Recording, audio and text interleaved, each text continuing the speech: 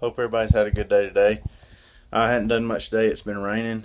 Um, well, it rained yesterday a good bit, and uh, it never did dry up today. It stayed pretty cool and sort of misty, and the sun really didn't come out either. So it was um, just kind of a damp day, and uh, didn't get to do any work. Uh, hopefully tomorrow I can go mow.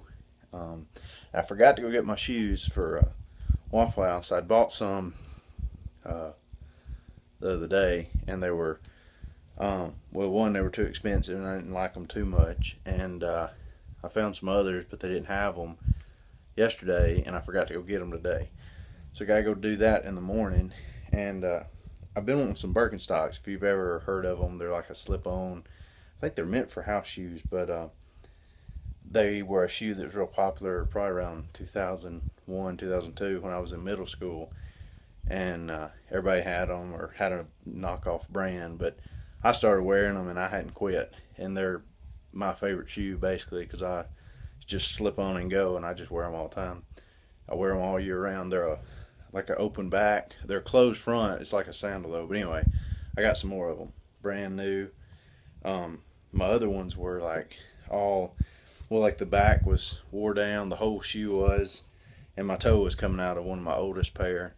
I had a well, I had an older pair, and then I replaced them, but never threw the old pair away, even though they were wore out, and then wore both of them out. So I've got two pairs that are just gone, pretty much coming apart. The whole leather's like peeling. But anyway, I got a new pair today, so I'm happy about that. Um, my buddies always aggravate me because I still wear um, Birkenstocks, but I love them. They're really comfortable. So um, looking forward to breaking those in. So uh, that was about the extent of the day. I did go with my uncle a few minutes ago, and we got him something to eat. And uh, I just drove him, and we picked something up and uh, carried him back, dropped some stuff. But anyway, uh, I'm gonna go to bed and uh, get up early tomorrow and go get them shoes and uh, go work a little bit if it's dry enough, and then get ready for Saturday and Sunday. So, um, working at Waffle House, so that'll be fun. Um, but I'll let you go.